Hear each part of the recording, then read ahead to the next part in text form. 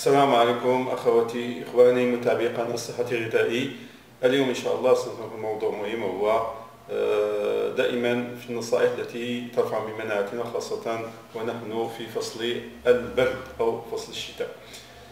يعتبر الليمون الحامض من أشهر وأهم أنواع الحمضيات وهو من النباتات الحمضية ويتميز بقيمة غذائية عالية ترفع من كفاءة خصائصه العلاجيه ويزرع في مناطق عدة حول العالم. بما في ذلك المناطق الواقعة على البحر المتوسط وينصح الأطباء بتناول مع الماء المغلى باكرا وعلى الرق لتحقيق الاستفادة والقصر من فوائده. إذا فما هي هذه الفوائد؟ أي فوائد الليمون الحامض أي الحامض مع الماء المغلى. يعد الليمون الحامض مع الماء المغلى من أفضل الوصفات الطبيعية المساعدة على حرق الدهون في الجسم حيث يزيد الإحساس بالشبع ويحسن من عملية استقلاب أو الغيظ وينظف الليمون الحامض مع الماء المغلي والمغلى الجسم والدم من كافة السموم المتراكمة فيه ويساعد على طرح الفضلات والشوائب خارجا مما يقوي من صحة الجهاز المناعي ويقي من الإصابة بجملة من الأمراض الخطيرة وهذا ما نحتاجه في فصل البرد وفي فصل الشتاء.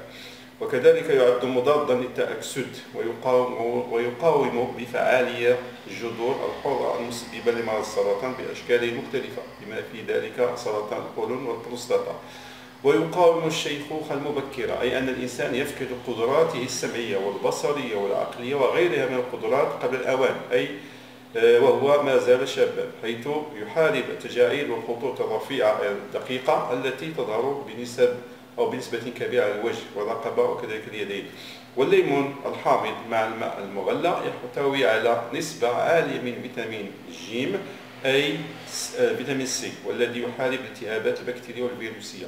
ويمنح كذلك البشرة نضارة عالية وإشراقة طبيعية ويحتوي كذلك على عنصر الكالسيوم وعلى فيتامين دي المساعد على امتصاصه بشكل أفضل مما يجعله أساسا لتقوية العظام والعضلات والمفاصل والأسنان وكذلك الأظافر. وبالتالي من الإصابة بمرض هشاشة العظام والروماتيزم. وكذلك يحتوي على عنصر الحديد ويساعد على رفع معدل الهيموغلوبين في الدم مما يقي من الأنيميا أو فقر الدم. كما أنه ينشط الدورة الدموية مما يقي من مشاعر التعب والإرهاق. ويحسن عملية الهضم ويقي من الإمساك وعسر الهضم والانتفاخات لكونه غنية بالألياف الغذائية. كما أنه يضم مجموعة فيتامين بي الثمانية والمفيدة جدا لتوازن العمليات الحيوية في الجسم والمهمة لبناء الجهاز العصبي وتحفيز القدرات الذهنية كما أنه يقي من الإصابة من الألزهايمر.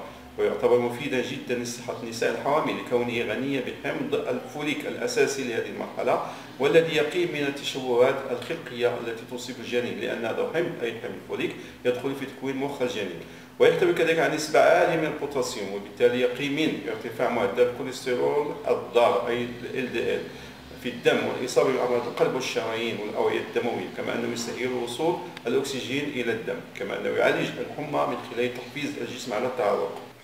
وكذلك يطهر الكبد لكونه يحفز على التخلص من السموم ويفيد ويفيد كذلك القولون لكونه يعتبر مضادا للجراثيم لاحتوائه على ألياف البكتين.